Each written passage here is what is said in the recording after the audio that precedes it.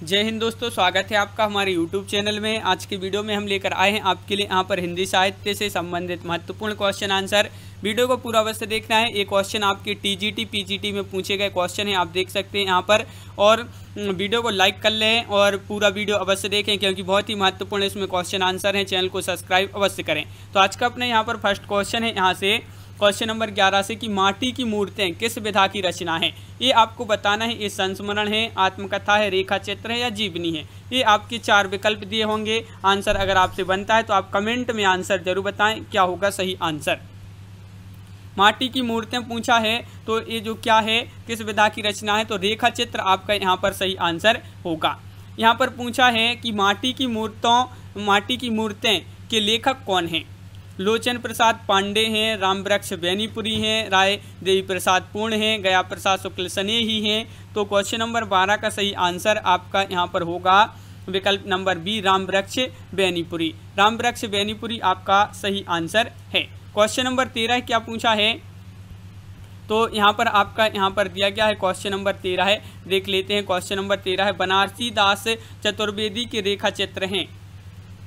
रेखा चित्र सेतुबंध या उपरोक्त दोनों या स्मारिका क्वेश्चन नंबर तेरह है, महत्वपूर्ण है और आपका यहाँ पर जो सही आंसर होगा, वह आपका सही आंसर विकल्प नंबर सी यानी कि उपरोक्त दोनों रेखा चित्र और सेतुबंध आपका सही आंसर है। देखिए रेखा चित्र और सेतुबंध बनारसीदास चतुर्वेदी का रेखा चित्र है। और अगला क्वेश्चन यहाँ पर क्वेश्चन नंबर चौदह क्या पूछा है तो वह देख लेते हैं। अमिट रेखाएँ के संस्मरण रेखा चित्रकार हैं, कौन हैं? अमिट रेखाएँ के संस्मरण। रेखा चित्रकार कौन है? विष्णु प्रभाकर हैं देवन सत्यार्थी हैं, सत्यवती मलिक हैं, शिवपूजन सहाय हैं। तो आपका सही आंसर होगा। महत्वपूर्ण क्वेश्चन है और विकल्प नंबर बी सही आंसर है सत्यवती मलिक। आपका यहाँ पर सही आंसर है। बिल्कुल सही, सत्यवती मलिक, आपका राइट आंसर है। क्वेश्चन नंबर आपका पंद्रह यहाँ पर दिया गया है। क्या पूछा है, महादेव वर्मा का रेखा चित्र इनमें से कौन सा नहीं है? नहीं है पूछा है तो बताइए, अतीत के चलचित्र स्मृति की रेखाएँ पथ के साथ ही अपरोक्त सभी? तो आपका यहाँ पर सही आंसर है, उपरोक्त सभी है, पूछा है आपसे, यहाँ पर देखिए, नहीं है, पूछा है तो यहाँ पर देखिए, उपरोक्त सभी राइट आंसर है। हिंदी के संस्मरणात्मक रेखा चित्र साहित्य की श्री वृद्धि में महादेव वर्मा ने महत्वपूर्ण योगदान दिया है इन्होंने। अतीत के चलचित्र, स्मृति की रेखा पथ के साथ ही और मेरा परिवार, इनके जो है रेखा चित्र महत्वपूर्ण रेखा चित्र माने जाते हैं तो नहीं पूछा है, लेकिन यहाँ पर तो इनके जो है, सभी हैं। तो उपरोक्त सभी आपका राइट आंसर यहाँ पर है पूछा, नहीं पूछा है, मगर है आपका सही आंसर है। अगला क्वेश्चन क्या पूछा है? कि निम्नलिखित में से कौन सी रचना रेखा चित्र है?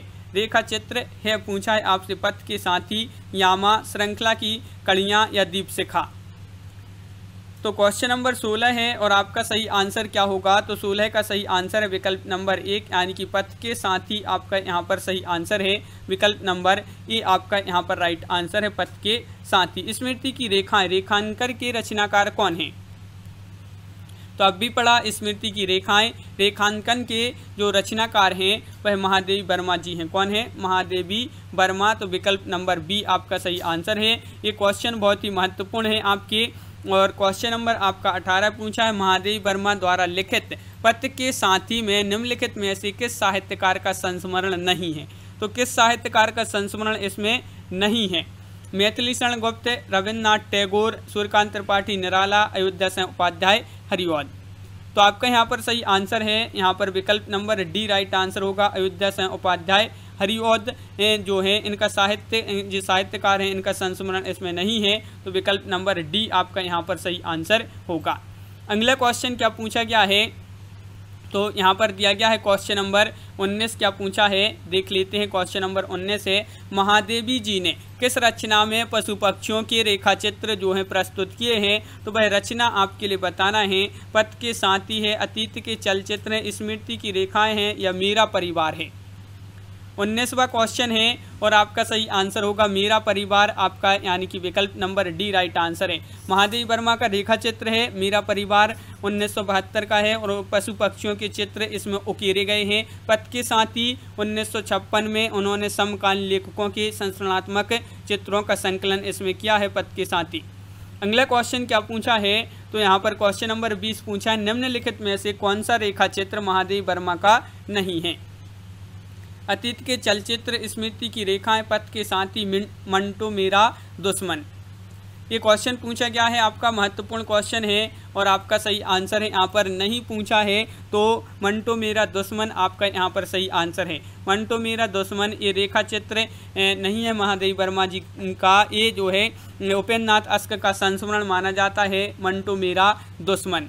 अगला क्वेश्चन क्या पूछा है? तो क्वेश्चन नंबर 21 आपसे यहाँ पर पूछा गया है, निम्न में ऐसे कौन रेखा चित्र विधा की रचना नहीं है?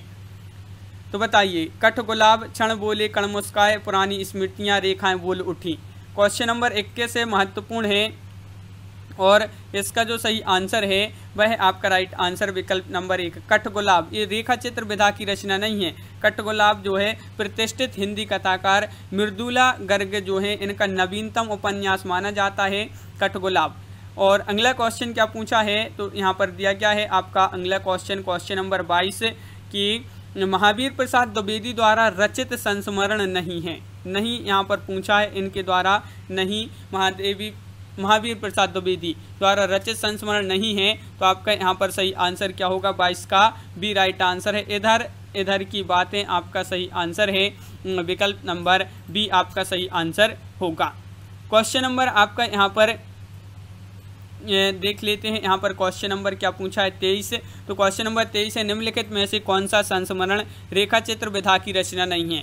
पद्म पराग माटी की मूर्तें, अतीत के चलचित्र या ज्योति विभाग? ये बताना है आपके लिए यहाँ पर कि रे, जो संस्मरण रेखा चित्र की विधा नहीं है। तो कौन सा नहीं है? तो यहाँ पर राइट आंसर होगा। ज्योति बेहग, आपका सही आंसर है। क्वेश्चन नंबर चौंतीस, चौबीस पूछा है आपसे यहाँ पर। श्री राम शर्मा की बोलती प्रतिमा रचना की विधा है। ये रेखा चित्र है आत्मकथा है संस्मरण है जीवनी है। तो चौबीस का आपका जो सही आंसर है हम्म, वह आपको बताना है तो आपका राइट आंसर है रेखा चित्र। यानी कि विकल्प नंबर ए आपका यहाँ पर सही आंसर है। रेखा चित्र आपका राइट आंसर है। क्वेश्चन नंबर आपका यहाँ पर अगला क्या पूछा है? तो क्वेश्चन नंबर पच्चीस यहाँ पर देख लेते हैं देखिए। ये है आपका यहाँ पर क्वेश्चन नंबर पच्चीस। बोलती प्रतिमा की रचनाकार इनमें से कौन है? क्वेश्चन नंबर पच्चीस में बताना है। पद्म सिंह शर्मा है श्री राम शर्मा हैं, बनारसी दास चतुर्वेदी हैं, सेठ गोविंद दास हैं। तो आपका यहाँ पर सही आंसर क्या होगा? यहाँ पर राइट आंसर होगा बोलती प्रतिमा की रचनाकार हैं श्री राम शर्मा। आपका सही आंसर है विकल्प नंबर बी।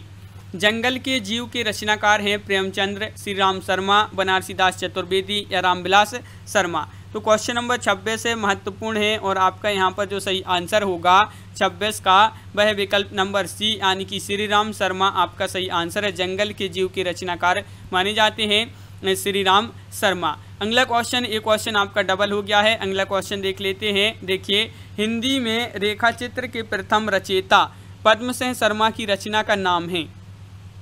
तो हिंदी में रेखा चित्र के प्रथम रचयिता पद्म सिंह शर्मा और इनकी रचना का नाम क्या है? पद्म पराग या दस तस्वीरें, पथ के साथ ही रेखाएँ और रेखा और रंग।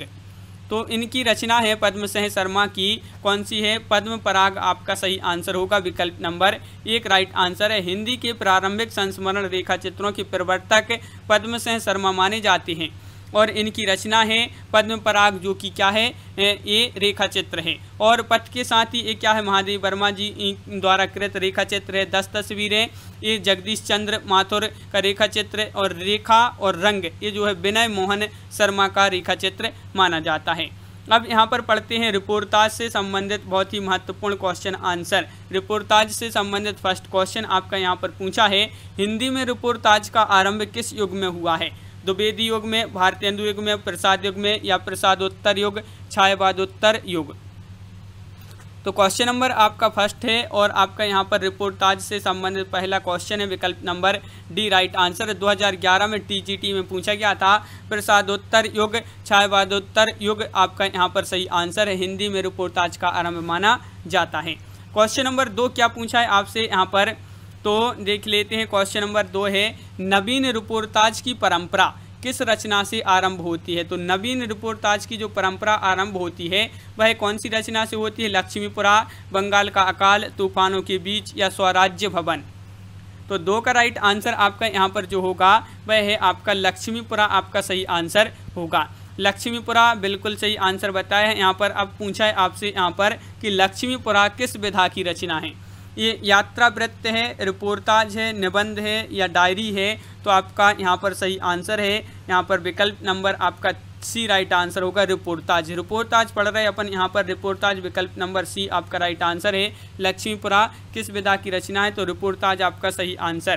क्वेश्चन नंबर चार है, हिंदी साहित्य के पहले रिपोर्टाज लेखक होने का श्रेय प्राप्त था। भारतेंदु हरिश्चंद्र जी को शिवदान सिंह चौहान महावीर प्रसाद द्विवेदी, आनंद कौत्सायन। तो आपका यहाँ पर राइट आंसर है। क्या है राइट आंसर तो यहाँ पर विकल्प नंबर सी राइट आंसर है शिवदान सिंह चौहान। शिवदान सिंह चौहान इनको जो है पहले, हिंदी साहित्य के पहले रिपोर्टाज लेखक होने का श्रेय प्राप्त है शिवदान सिंह चौहान। अलमोड़े का अलमोड़े का बाज़ार किस विधा की रचना है? तो जीवनी है गीत है रिपोर्टाज है, या यात्रा वृत्य है तो पाँच का आपका जो सही आंसर है 2013 में एक क्वेश्चन पूछा गया था टीजीटी में, और अलमोड़ी का बाज़ार ये क्या है? रिपोर्टाज है। विकल्प नंबर आपका बी राइट आंसर है रिपोर्टाज फ्रांसीसी भाषा का शब्द है। अगर पूछा जाए रिपोर्टाज किस भाषा का शब्द है तो फ्रांसीसी भाषा का शब्द माना जाता है रिपोर्टाज अगला क्वेश्चन क्या पूछा है? तो यहाँ पर दिया गया है अगला क्वेश्चन क्वेश्चन नंबर छः आपसे पूछा है। क्या पूछा है? देख लेते हैं। अलमोडे का बाज़ार रिपोर्टाज के लेखक कौन है? भगवती, भगवत शरण उपाध्याय हैं, प्रकाश चंद्र गुप्त हैं रघुवीर सहाय हैं, रांगे, राघव जी हैं। तो क्वेश्चन नंबर छः है और आपका सही आंसर है। यहाँ पर इसके जो रच, लेखक पूछा है तो विकल्प नंबर सी राइट आंसर है। यानी कि प्रकाश चंद्र गुप्त आपका सही आंसर यहाँ पर है। बंगाल का अकाल रिपोर्टाज के लेखक कौन है?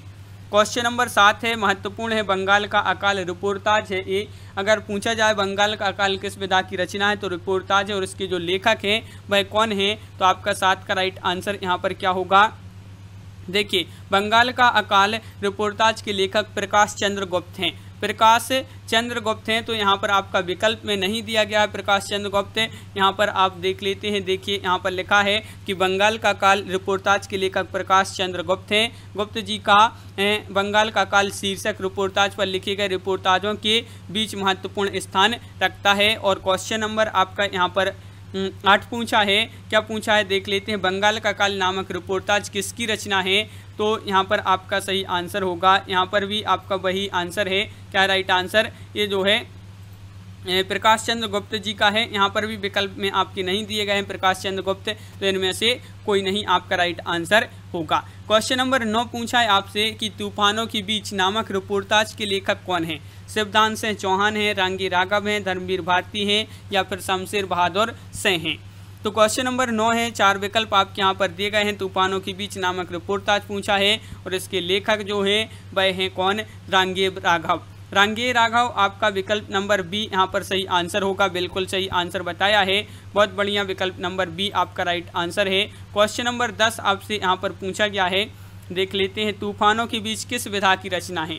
तूफानों के बीच किस विधा की रचना है, ये आपको बताना है। तो आपका राइट आंसर होगा यहाँ पर विकल्प नंबर एक, यानी कि रिपोर्टाज है ए रिपोर्टाज है तो विकल्प नंबर एक आपका यहाँ पर सही आंसर है। 1941 में बंगाल के भीषण अकाल की काली छाया को रांगी राघव ने रिपोर्टाज के माध्यम से सशक्त शैली में व्यक्त किया है। यह रिपोर्टाज जो है तूफानों के बीच में शीर्षक से, हंस पत्रिका में प्रकाशित हुआ था। तूफानों के बीच और पोर्ताज किस पत्रिका में प्रकाशित हुआ था? अगर इस प्रकार का क्वेश्चन पूछा जाए तो हंस पत्रिका में प्रकाशित हुआ था। रंगे राघव इसके लेखक हैं और तूफानों के बीच किस विधा की रचना है तो ये रिपोर्टाज है। तो इस प्रकार अपने यहाँ पर बहुत ही महत्वपूर्ण क्वेश्चन कंप्लीट हुए। कैसा लगा ये वीडियो कमेंट में ज़रूर बताएँ। अगर आप चैनल पर पहली बार आएँ तो चैनल को सब्सक्राइब कर लें। बेल आइकन दबाएँ ऑल पर क्लिक करें, ताकि ऑल वीडियो की नोटिफिकेशन आपके यहाँ तक पहुँचे। ज़्यादा से ज़्यादा वीडियो को शेयर करें और वीडियो को लाइक करना ना भूलें। तो आज की वीडियो में बस इतना ही। सभी के लिए बहुत बहुत धन्यवाद। सभी के लिए जय हिंद।